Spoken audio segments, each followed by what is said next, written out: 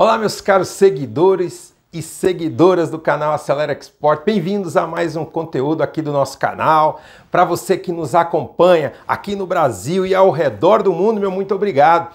Eu estou ciente que nós estamos sendo vistos em muitos países, nos quatro cantos do mundo. Eu recebi é, essa semana o um contato do Alessandro, que é um seguidor que acompanha nosso canal na Nova Zelândia. Olha que, que beleza! Manda um abraço para você, Alessandro. Obrigado pelo seu prestígio de nos acompanhar, mesmo num, num, país tão distante. Tá bom? Continue acompanhando aqui no nosso canal, interaja conosco.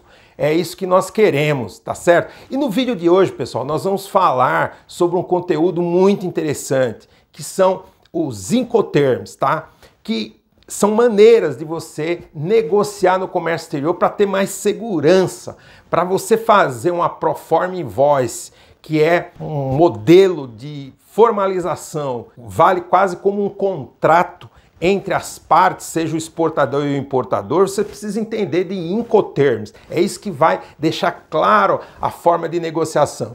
Logo após a vinheta, você vai assistir um conteúdo completo explicando a última atualização, o Incoterm 2020, tá? Fica nesse vídeo até o final. E se você ainda não está inscrito, se inscreva agora, se inscreva no canal agora, é muito simples, tá?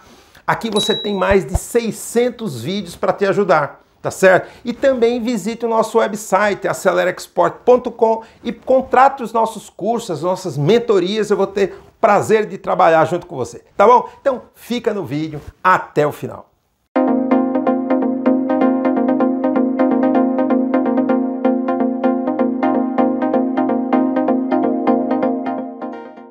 Então, vamos falar sobre Ecoterms 2020. Eu vou explicar rapidamente para você entender o que é isso. Os Ecoterms são termos, siglas, três letrinhas que determinam os direitos e responsabilidades entre um fornecedor e um comprador, seja exportador ou importador. Esses Ecoterms é o que regulam legalmente uma negociação. Quem criou isso? Quem criou foi a Câmara Internacional de Comércio foi criada em 1919, já é bastante antiga. E Nesse ano de 2020, foi feita uma atualização, por isso se chama Incoterm 2020. A cada 10 anos eles atualizam. Não são grandes mudanças, mas esse ano de 2020 ele mudou. E tem muita gente que tem dúvida, até mesmo quem é da área de logística tem dúvida de como isso funciona. Inclusive, eu quero aqui já agradecer ao nosso parceiro José Rezaf, da Ventana Serra, que nos assessorou e nos ajuda, tirando dúvidas técnicas. Ele que fica aqui no Porto de Santos e colabora conosco nesse trabalho. Obrigado, Rezaf, e obrigado também à Ventana Serra que nos apoia nesse sentido. E eu vou explicar para você agora de forma resumida, porque se você quiser se aprofundar, muito em breve nós vamos lançar um curso só sobre Incoterm, para você entender, porque o Incoterm tem um aspecto jurídico. Apesar da ICC ser uma ONG, uma organização não governamental, ela tem uma importância muito grande, porque quando você, num contrato comercial internacional, coloca um Incoterm, passa a ter força legal. Você poderia fazer um contrato sem esse termo. É óbvio que o seu cliente lá fora vai querer que você use, mas não é obrigatório. A partir do momento que você usou um Incoterm, passa a ter força legal, força jurídica, é um contrato válido para você fazer arbitragem, inclusive, com ele, tá certo? Então isso é uma coisa interessante. Aqui, ó, tem o site deles aqui no Brasil, esse é o site internacional, iccwbo.org. Ele está em inglês. Agora eu vou dar uma pincelada, um resumo para você entender isso, tá? Então vamos lá. Você tem Incoterm para o modal marítimo e tem outros modais que você tanto pode usar para o marítimo, para o aéreo, para o rodoviário, ferroviário e tudo mais. Então, começando, vamos falar a respeito dos modais mais comuns que são os marítimos. Um primeiro que é muito conhecido é o FOB. Esse é muito antigo e ele quer dizer o quê? Free on board. Ele é um, um Ecoterm que a responsabilidade do exportador é até o momento que a carga sobe ao navio. No momento que o container ele está dentro do navio, daí para frente é responsabilidade do importador. Depois do FOB, o próximo é o. CFR, custo e frete. O CFR também só vale para o modal marítimo, tá? E o FOB, o exportador, não tem responsabilidade sobre o frete. Nesse caso aqui, o custo do frete levando a mercadoria até o destino por conta do exportador. Agora, o seguro não está aqui. O seguro está fora. Esse seguro, você tem o modal CIF, Cost, Insurance and Freight. O exportador tem a responsabilidade de desembaraçar, de contratar o seguro e também o frete até o destino. No destino, o desembaraço, todas as outras obrigações, aí correm por conta do importador. Então, esses três são basicamente para o marítimo. Agora, tem um outro que não é muito usado, mas ainda que está válido, que é o FAS. F-A-S. Free Alongside Ship.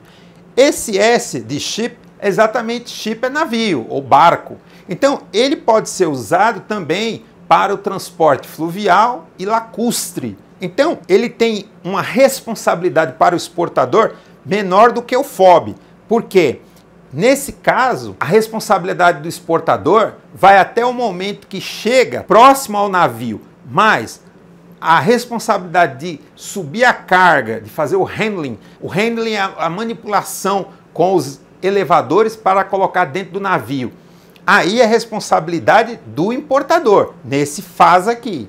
Então, nesse caso específico do faz, se você usar, quer dizer, digamos que na hora que está carregando o container, cai lá dentro do mar. Uh! Isso pode acontecer. E a responsabilidade seria do importador. Então, é óbvio que se você propõe para o seu cliente, olha, vou fazer com faz, isso pode despertar uma dúvida. Então, existem tipos de cargas que pode fazer sentido isso daqui. Agora, na maioria dos casos, isso poderia dificultar. Por isso, você entender cada Incoterm profundamente faz com que você passe segurança lá para o seu cliente, no caso da exportação. E importação a mesma coisa. O raciocínio ele é diferente, mas no sentido genérico é a mesma coisa. Então, aqui nós falamos sobre os principais marítimos. Bom, agora vamos falar dos outros incoterms que você pode usar tanto para o marítimo, o aéreo e o rodoviário. O primeiro, muito conhecido, é o EXW ou X-Works. O X-Works, a responsabilidade sua é da porta da sua fábrica para dentro. Ou seja, o importador, no caso, você está exportando, o importador vai até a sua fábrica, retira a mercadoria e ele se responsabiliza por levar até o porto, fazer o desembaraço, tudo. Ou então, o X-Works é um ponto de entrega. Pode ser também combinado num determinado local. Agora vamos para um outro bastante usado que é o FCA, que é o Free Carrier. Ele é muito usado no modal aéreo. Então, você tem a responsabilidade de levar até o local de entrega, normalmente é um aeroporto, mas poderia também um FCA ser usado no rodoviário. Mas aí, o que é importante você saber é que o FCA poderia ser usado até no modal marítimo. Agora, por que, que não é feito isso? Porque você tem, no caso do marítimo, específicos. Então, para que, que vai usar um FCA quando você tem o FOB, que é específico? Agora vamos para o CPT. O que, que é o CPT? Carriage Paid True. Esse é muito usado no transporte rodoviário, porque você tem que se responsabilizar até a entrega. Você poderia ir exportando para o Paraguai, levar até Foz do Iguaçu, pró próxima cidade de Leste. E aí entrega a mercadoria lá, CPT, na sede da transportadora. Agora vamos falar sobre DAP. Tá? Você tem o DAP e o DAP PU, DAP e DPU, ele é usado também no modal marítimo, pode ser no aéreo, pode ser no rodoviário. Ele quer dizer deliver at place, no destino. Então, o que, que acontece? Nesse caso aí, o exportador ele é responsável pelo frete, pelo desembaraço, pelo seguro, por tudo, inclusive de levar a mercadoria desembaraçada até o destino da exportação.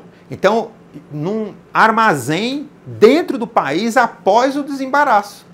Container fechado, normalmente, o DAP. No caso do DPU, ele é similar ao DAP, só que ele tem essa letra U. Ele significa Delivered at place unloaded. O U é unloaded, ou seja, descarregado, unloaded e descarregado. Então, aqui você tem que ter a equipe que vai fazer o handling, que é um termo em inglês que significa desconsolidar, ou seja, desembarcar a mercadoria, tirar do container e entregar para o seu cliente, que é o DPU. Só que tanto no DAP como no DPU, o exportador não precisa pagar os impostos. E aí nós temos o DDP,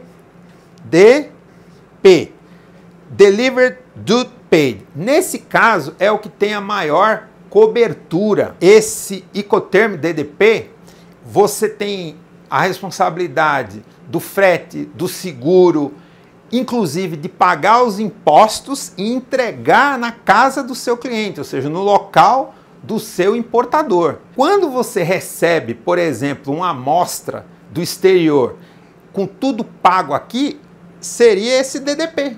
O DDP ele pode ser usado com amostra, com mercadoria, e quando você assume esse trabalho, você está querendo dar o máximo de conforto e de comodidade para o seu cliente. Mas você precisa conhecer muito bem as regras do destino e saber se o preço do seu produto e a rentabilidade do seu negócio cabe. Mas é o melhor. E tem um outro que chama CIP, CIP. Ele, na verdade, é a continuação desse CPT aqui, ó. CIP. Qual é a diferença do CPT para o CIP? Aqui você tem o I. O I o que, que é?